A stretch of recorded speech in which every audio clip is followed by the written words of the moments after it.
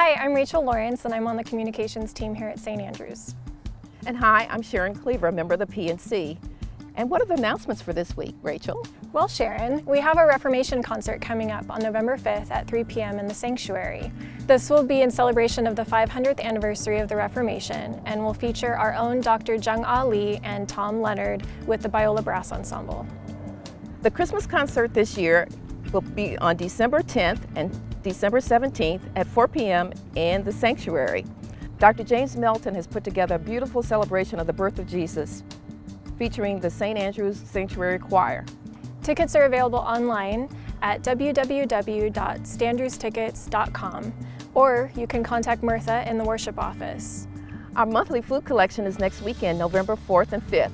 Please bring canned goods and non-perishable food items and collection bins will be on the plaza. This will benefit our ministry partner, Orange County Rescue Mission. Join us on December 11th for a one-day missions experience to Rosarito, Mexico with Finding Freedom International to combat human trafficking. On this special Christmas trip, our team will be helping the girls decorate their house for the coming season. Cost is $100 and includes transportation and food. Registration will open on October 30th. Visit www.sapres.org slash extending the family for more info.